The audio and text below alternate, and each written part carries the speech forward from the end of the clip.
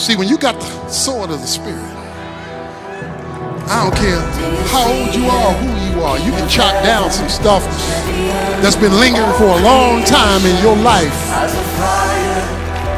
You just got to know who you are and what you got in your hand. Why pray? Because God answers prayer. As powerful as God is, God cannot answer prayer until you pray it. You're stressed out because you don't worship. You're moody because you don't worship. You're a hothead because you don't worship. You're out of control because you don't worship. The word of their testimony was their proclamation, and it has a supernatural power when you release it. What blood? What blood? What blood? The only blood that can remove one's stain and the stench of sin from your soul is the precious blood of the Lamb of God for sinners slain. That blood, the blood that flowed from Emmanuel's veins, that blood, the blood that cleanses from all sin, that blood, the blood that shackles Satan and every devil in hell, that blood.